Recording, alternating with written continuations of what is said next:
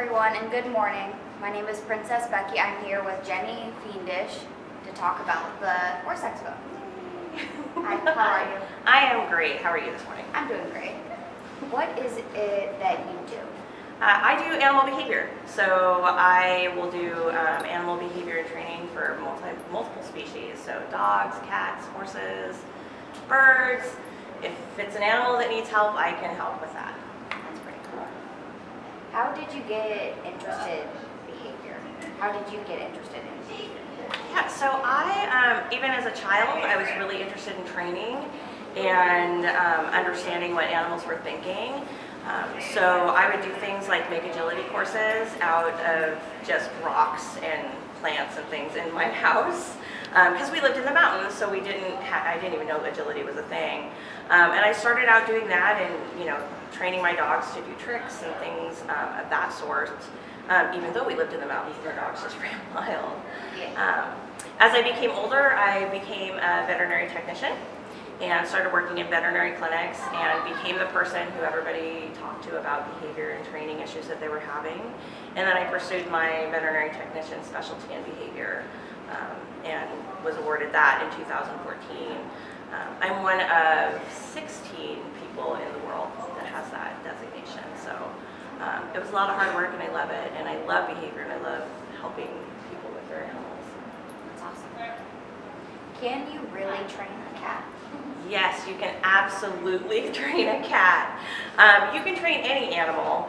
Um, and the way that we train them and the learning theory that we use and the training techniques that we use are exactly the same no matter what the animal is.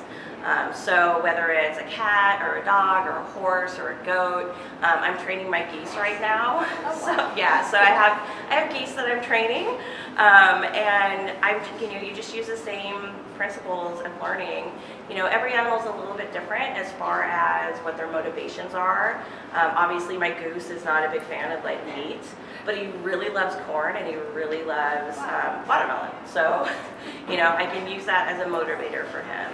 And just knowing their different body language is really helpful as well.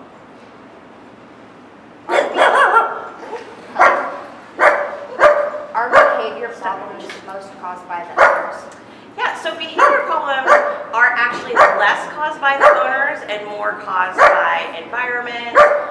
That's enough. Thank you. Um, so behavior problems are um, more caused by the environment, um, by um, things that happen to the animal, because behavior is really molded by consequences. So if something happens and there's a bad consequence, then the animal's going to have a bad association with that. Most of the time, when I see behavior problems, and probably I'd say about 98% of the time, it's an environmental thing that has happened that has made the animal fearful. There's been some issues with um, socialization early on. Um, you know, and oftentimes we do have, you know, breed things. Our Springer Spaniels have some um, anxiety issues, um, as well as just genetics. You know, genetics plays a huge part in behavior problems.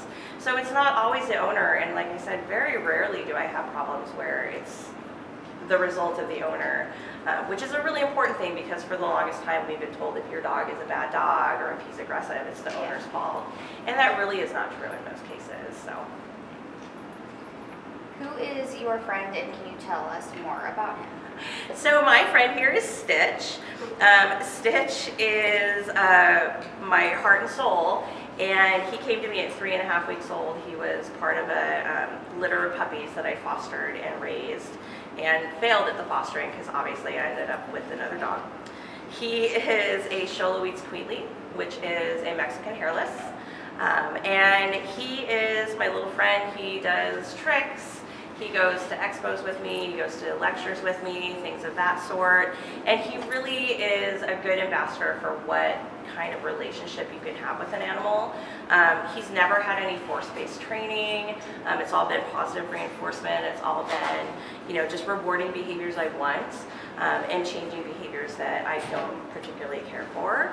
Um, so he, he's just the love of my life and he loves everybody. He pretty much thinks that the Horse Expo is the Washington State Stitch Expo um, and that everybody's here for him. So Yeah. he, he just loves people. Hi, Mian.